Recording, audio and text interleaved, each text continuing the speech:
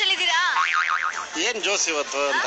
ನೀವು ಸಿಕ್ಕಿ ಮಾತಾಡ್ತಾ ಇರೋದೇ ಇವತ್ತು ನಮ್ಗೆ ಜೋಸ್ ಅಂತ ಅನ್ಬೋದು. ನಮ್ ದೇಶ ಬದಲಾವಣೆ ಆಗ್- ಆಗ್ತಾ ಇದೆ. ಒಂದು ನಮ್ಗೆ ಅಸ್ತ್ರ ಸಿಕ್ಕಿದೆ ಎಂ ಪಿ ಎಲೆಕ್ಷನ್ ಬದಲಾವಣೆ ಬದಲಾವಣೆ ಮಾಡೋದಕ್ಕೆ ಮಾಡ್ಲೇಬೇಕು ಈ ಸರಿ. ಯಾಕೆ ಬದಲಾವಣೆ ಮಾಡ್ಬೇಕು ಅಂದ್ರೆ ಎಂ ಪಿ ಎಲೆಕ್ಷನ್ ನಮ್ಮ ದೇಶದ ಭವಿಷ್ಯಕ್ಕೋಸ್ಕರ ಮುಂದಿನ ಫ್ಯೂಚರ್ಗೋಸ್ಕರ ನಾವು ಹೋರಾಟ ಮಾಡ್ಲೇಬೇಕಾಗಿದೆ. ಈ ಸರಿ ಬದಲಾವಣೆ ಆಗ್ಲೇಬೇಕು.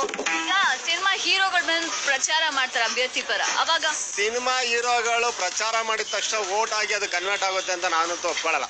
ಯಾಕೆಂದ್ರೆ ಸಿನಿಮಾ ನಟರು ಡೂಪ್ ಹಾಕೊಂಡು ಫೈಟ್ ಮಾಡೋದೇ ಬೇರೆ, ರಾಜಕಾರಣಿಗಳು ಪಬ್ಲಿಕ್ ಅಲ್ಲಿ ನಿಂತ್ಕೊಂಡು ಫೈಟ್ ಮಾಡೋದೇ ಬೇರೆ. ಇವತ್ತು ನಿಜವಾಗ್ಲೂ ಹೇಳ್ಬೇಕಂದ್ರೆ ಸಿನಿಮಾ ನಟರಿಗೆ ಜನ ಬೆಂಬಲ ಕೊಡ್ತಾ ಇಲ್ಲ.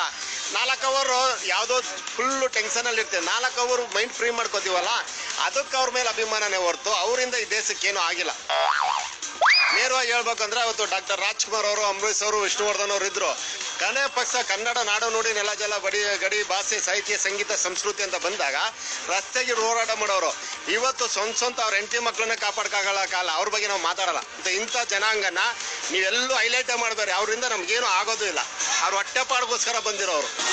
ಶೂನ್ಯ ಗಾಂಧಿ ಶೂನ್ಯ ಗಾಂಧಿ.